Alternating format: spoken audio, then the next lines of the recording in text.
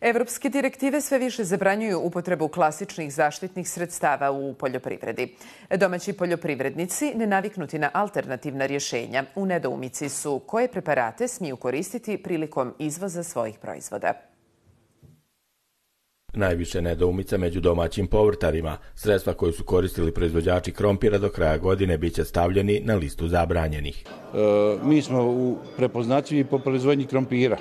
Znači više e, sredstvo koje smo radili 40 godina unazad, odnosno tretiranje krompira od klijavosti, nemamo više tu mogućnosti.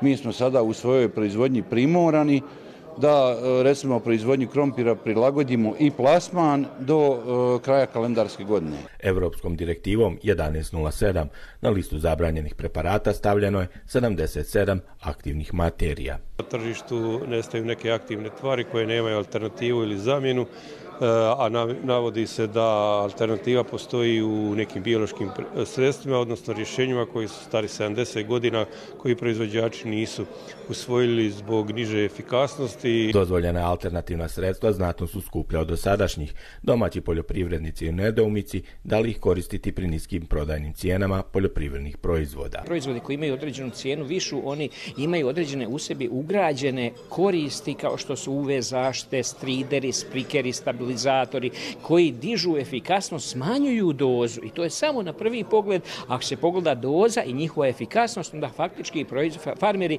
sa tim ne rade trošak, već rade investiciju, odnosno sa tim ulaganjima dodatnim oni dižu svoj kvalitet i dižu prinos, imaju veći profit i u konačnici smanjuju broj tretmana i u konačnici, znači taj proizvod je njima jeftiniji, a ne skuplji samo za lajke i nepoznavaoce, oni smatraju da je to skuplje. Na predavanju u gradišci istaknuto je da je trenutno najveći problem sa upotrebom novih zaštitnih sredstava u oblasti voćarstva.